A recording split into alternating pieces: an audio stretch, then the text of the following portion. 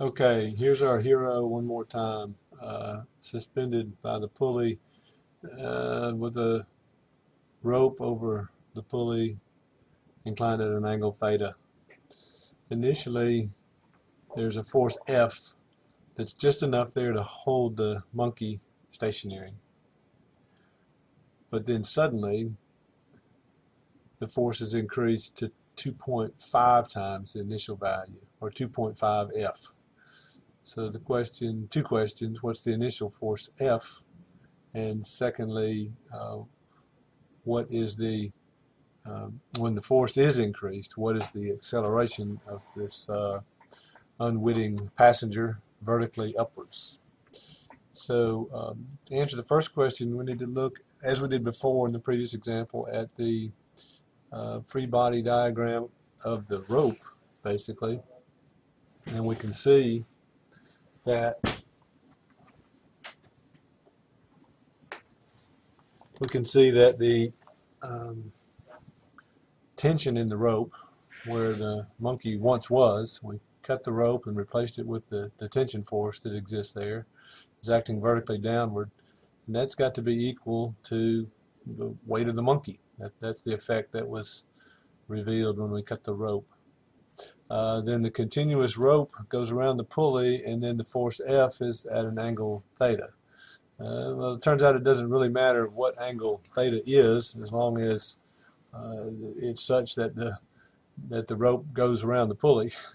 Uh, in, any case, because the tension in the rope has to be the same, then the force on the free end, F, uh, is the same as the um, the weight of the monkey, uh, mg.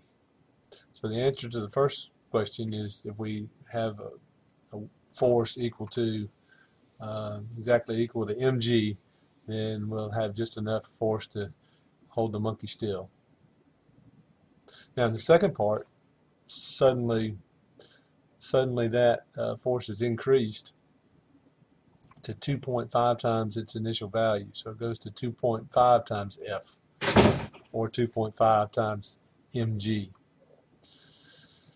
So uh, in this case, we need to consider the free body diagram of our uh, perilous passenger uh, and taking into account the information that we've already learned. That is that the tension in the rope has to be the same.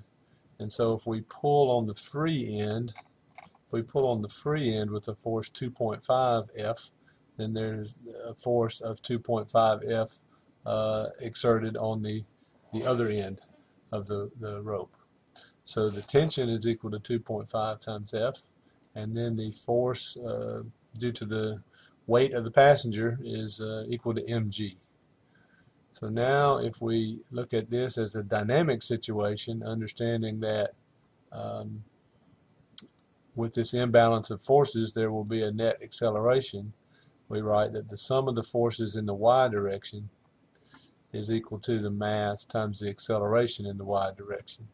So if we take the positive y direction to be upwards, then we can write the forces as 2, 2.5 times F, that's the tension, minus mg, uh, that's got to equal the mass times the acceleration.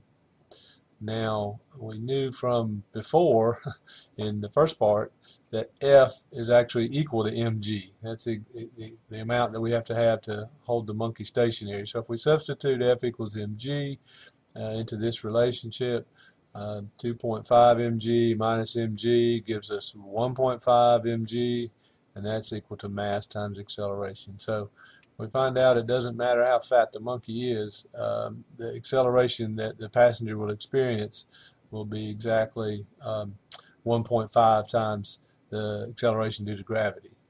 Um, so this uh, this ends the second, uh, uh, the third example, the, the first example of a dynamic uh, non-equilibrium.